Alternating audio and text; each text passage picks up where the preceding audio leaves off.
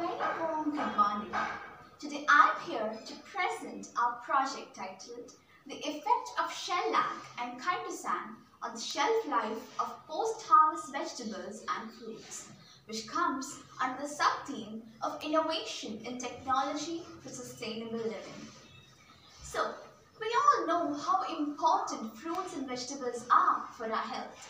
They contain immense amount of nutrients which boost our immunity.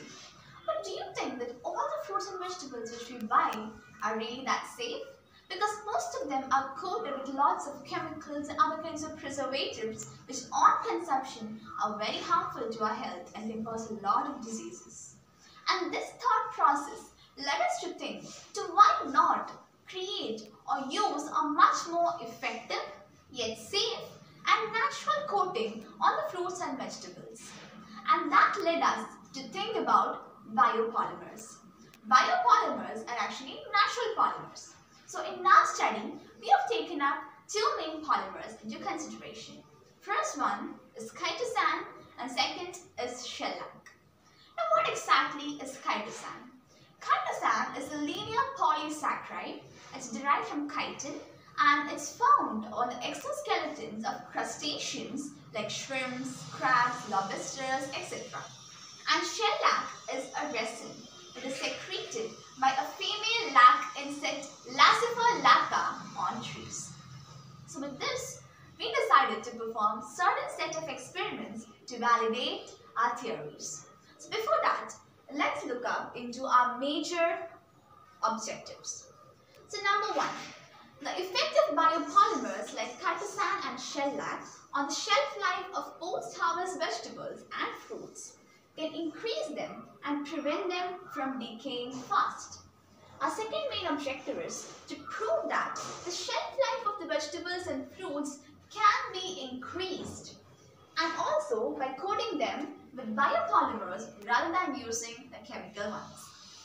Next, let us look at our minor objectives. Number one, to find and calculate the biological changes that occur on the vegetables and fruits.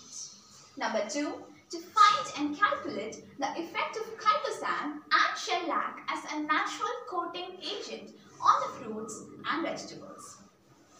So next we decided to conduct a set of experiments and for this, so we have taken, firstly, we have procured fresh and organic fruits and vegetables which contain no traces of preservatives. So from fruits we have chosen apple and from vegetables we have chosen brinjal. Procured the chitosan and shellac samples. Nextly, we kept some of the samples of the apple and brinjal as control samples. This, these are to be observed during the entire period of the observation and also finally to be compared and analyzed with the, with the other coated samples. Nextly is the preparation of the chitosan solution. Now here we took 300 milliliter of distilled water and 3 gram of chitosan powder and created the 1% concentrated chitosan solution. Next is the preparation of the shellac solution. For this, we took 500 milliliter of distilled water with 50 grams of shellac solution of shellac powder, maintaining the pH at 8.5 and created the 10% concentrated shellac solution. Nextly, we dipped the set of samples, a set of samples of apple and brinjal. They were coated solution and other set of samples of brinjal and apple were coated with the shellac solution. Both these coated samples were then weighed on an electronic scale. Our last methodology is that this observation was conducted for an entire week. That is for a duration of 7 days doing repeating the process every 24 hours. So every 24 hours, we continuously weigh all the control samples, chitosan and shellac coated samples. And thus, we form this tabulation. Now, from this tabulation, it's very clear. So here, for apple, the samples of apple which were kept under control, they had a mean weight loss percent of 8. By the same time, apple and with chitosan solution observed, they had a mean weight loss percent of 2.2 at the end of the week, a drastic decrease from 8. And apple and coated shellac solution had 3.6, yet significantly lower than 8. Now let's look at brinjal. Brinjal under control was a mean weight loss percent of 11. When coated with chitosan, it came down to exactly half of 5.4. And for shellac solutions, coated brinjal, it came up to be 6.8. Okay, so this itself shows us almost the results that are obtained. From this we can form our conclusions. Number one, the shelf life of apple and brinjal is found to be significantly less when no coating was applied on them. Number two, a coating of chitosan was found to increase the shelf life as we have seen in our tabulation. Number three, a shellac coating was also found to be very effective as a coating agent. Number four, therefore we can conclude that chitosan proved to be a much more efficient coating. At the same time, the shellac coatings were also found to be efficient.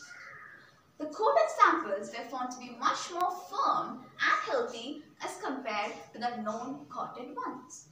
Last, the decaying effect of the microbes could be seen to be prevented by using these biopolymers. So with this, we can form our final solution to the problem. And that is, coating effective biopolymers plays a very important and integral role in the prospect of preservation. Now also as a part of our follow-up work, we took the cross-sectional samples of apple and brinjal respectively and we kept them under observation for a few days. And what we noticed is that the control samples typically found a lot of texture breakdown of flavor development and browning.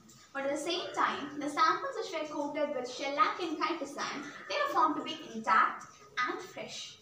And thus, with this we come with this we came to the end of our study and we concluded that biopolymers can be an effective coating agent on vegetables and fruits. With this, I'd like to conclude